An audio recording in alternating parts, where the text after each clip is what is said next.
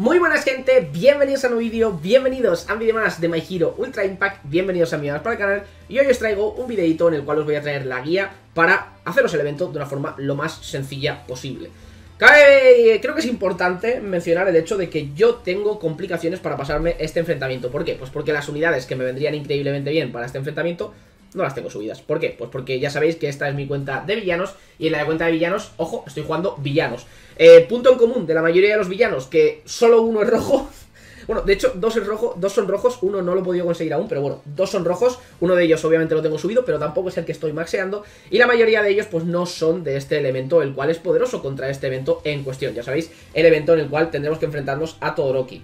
Eh, los event quest, súper fáciles, y ya os digo yo que el boss en hard también es un completo paseo. Diariamente tendremos que hacer el boss en ultra, como estaréis viendo por aquí, porque eh, cada 23 horas podemos hacer un try, y obviamente es algo que merece la pena, porque podemos conseguir muy buenas recompensas de este enfrentamiento. Muy seguramente os ponga parte de lo que ha sido el enfrentamiento contra este boss, pero ya os tengo que confesar que no me lo he podido pasar en una sola vez, solo me lo he tenido que pasar en tres veces, algo que realmente ha sido un poquito molesto, pero es totalmente normal. Yo creo y os lo digo con, el corazón en la mano que mañana me lo podré pasar simplemente con dos tries. Yo creo que es bastante probable. Pero de momento, pues nos tocará seguir haciendo el hard.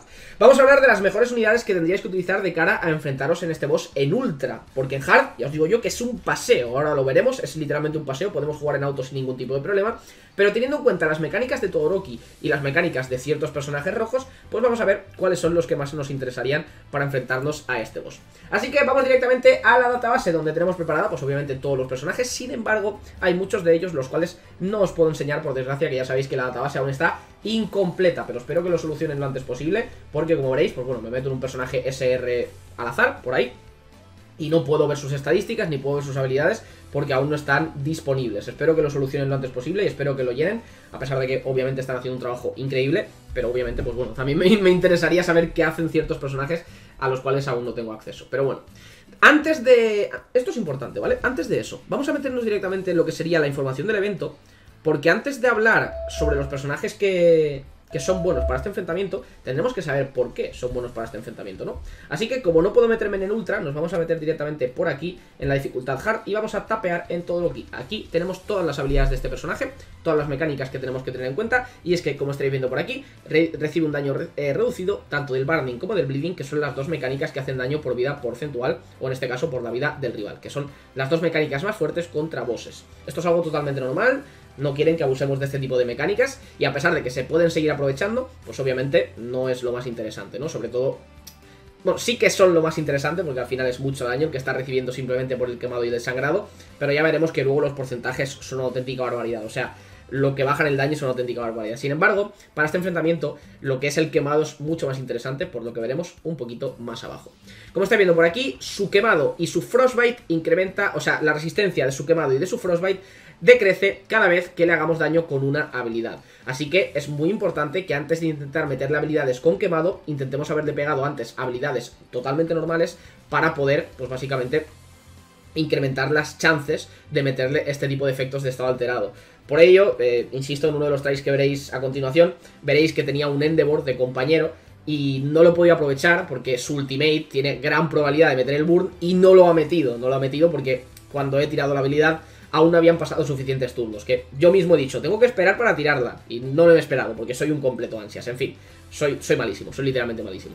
Incrementa su propia defensa, pero aquí el punto positivo es que su defensa va a bajar cuando esté quemado. Por ello, ciertas unidades y sobre todo eh, la unidad preparada para este evento, que es el propio Todoroki, el Todoroki en el cual está, bueno, el cual es cabeza de cartel actualmente del, banner principal, del banner de este evento, es realmente increíble para este enfrentamiento. Las main skills nos mete Frostbite, nos mete quemado, esto hay que tenerlo en cuenta porque podemos eh, ayudar a que esto deje de ocurrir o que ocurra lo, mínimo posible.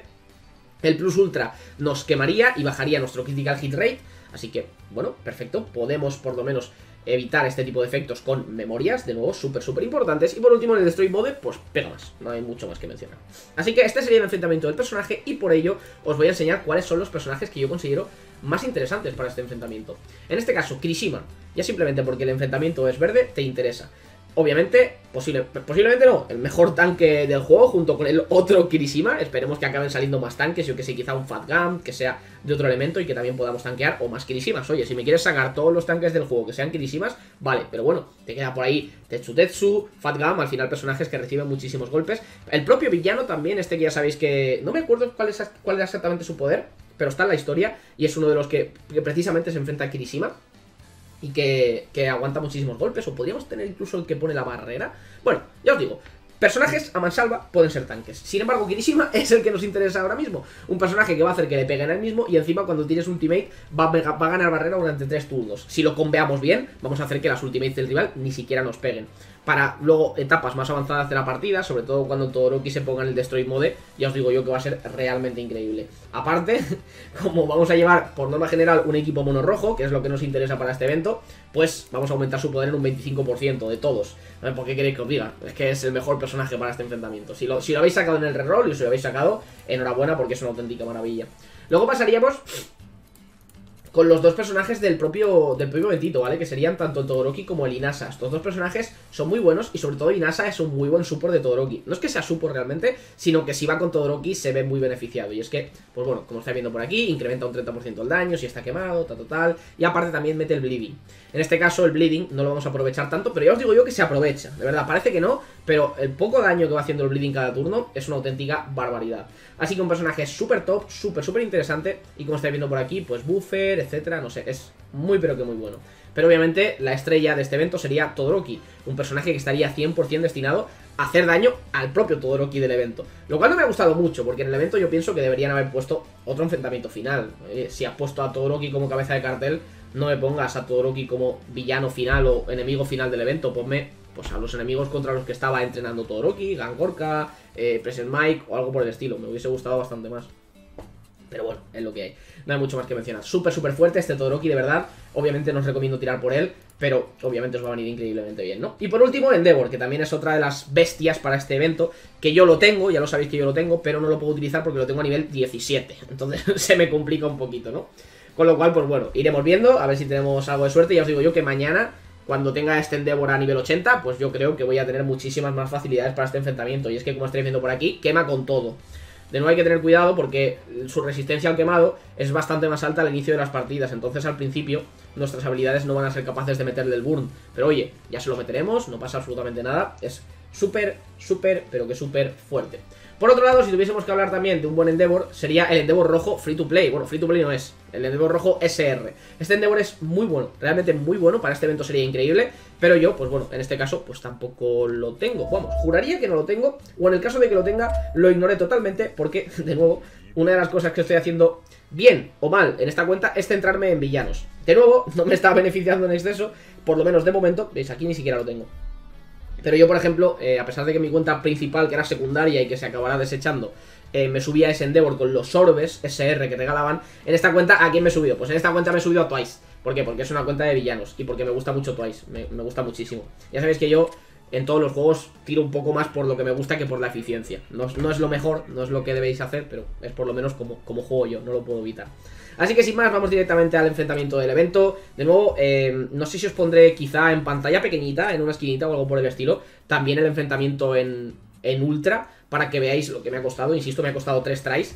Pero vamos a hacerlo en hard, a pesar de que lo habéis visto también en el anterior enfrentamiento, en el anterior vídeo, perdón.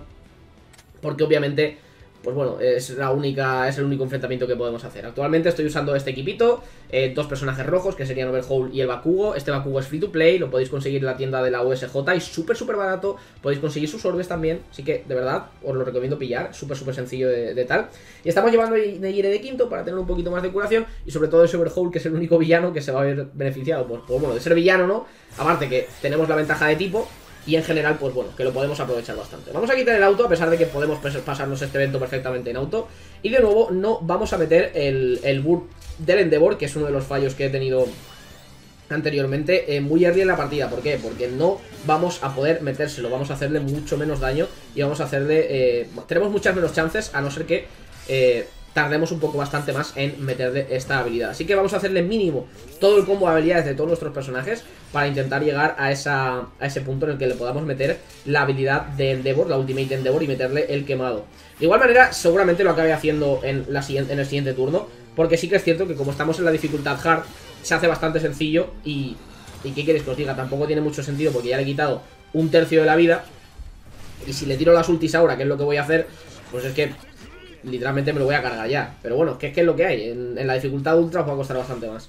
Así que sin más, eh, como veréis por aquí, Endeavor Ultimate eh, también quema. Endeavor tiene una chance bastante, supuestamente bastante alta de quemar. Y este Bakugo también. Por ello, eh, llevar este Bakugo es bastante interesante, como estáis viendo por aquí. 450% de daño.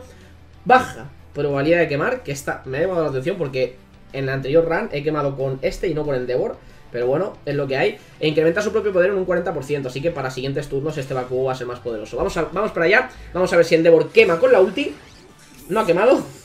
Duro. Y vamos a ver si Bakugo quema. Y tampoco ha quemado. Somos unos completos desgraciados. Y como veis, pues cada vez que le estamos golpeando al rival, va bajando esa probabilidad o esa defensa, tanto al quemado como al Frostbite, que son dos mecánicas las cuales son poderosas contra, contra este Todoroki y que casualmente, pues el Todoroki eh, del banner, pues eh, comparte, ¿no? Comparte, ¿no? Que viene el Frostbite y el Quemado. Pero ya veis que en el Hard es un completo paseo en barca y lo que tenéis que hacer diariamente, aunque os cueste, es haceros al menos una vez el Ultra. Os cueste lo que os cueste, merece la pena, ¿no? Eh, obviamente si lo hacéis en un solo try, es mejor que mejor, ¿no? Porque gastáis solo 120 tickets, que cuesta exactamente lo mismo que la dificultad Hard, y, y básicamente os conseguir más recompensas, sería el objetivo a seguir, ¿no? Así que sin más, eh, hemos conseguido relativos poquitos tickets, porque, bueno, en la dificultad más, en la dificultad hard no consigues tantos, en la dificultad ultra he conseguido en solo esas tres runs, creo que han sido más de 200 y pico, una auténtica barbaridad. Y ahora estoy en el, en el bingo 3, ¿no? Así que vamos a ir tirando unas cuantas tiraditas, vamos para allá, vamos al lío, y a ver si conseguimos las recompensas principales. Pero bueno, no lo creo, la verdad. Aquí ya las tiradas son cada dos, ya lo sabéis. Así que cada dos ticketitos, una recompensa más Y no hemos conseguido las recompensas principales Pero, ¿qué tenemos que seguir haciendo? Pues meternos en el hard, darle al auto y ya estaría Y así constantemente ¿Por qué? Pues porque mañana vamos a conseguir más, más tickets Vamos a poder enfrentarnos más al boss, etc Así que, cuanto antes vaciemos este evento, mejor Creedme, así nos lo quitamos de encima Y podemos olvidarnos eh, Obviamente, si gastamos los tries diarios del ultra Va a ser mucho más sencillo Pero, bueno Cuanto antes no lo quitamos de encima, mejor que mejor. Así que a darle caña, gente, a este enfrentamiento. Yo os digo, os lo podéis pasar en auto. El hard es un completo paseo. Y mañana posiblemente os traiga una un videito en el cual, ya intentándolo en ultra, al menos me lo pase en dos tries. Lo habréis visto por ahí, en pequeñito, etcétera. Que me lo he pasado en tres. Por poco, ¿eh? Lo he dejado a muy poquita vida. Pero bueno, eh, me lo he pasado en tres y eso es un completo fracaso. No puedo permitir eso. Nada más, espero que os haya gustado muchísimo el vídeo. Si ha sido así, no olvides de darle un pedazo de like. Suscríbete al canal para más contenido de My Hero Ultra Impact. Y nos vemos en el próximo vídeo. A farmear. Hasta luego.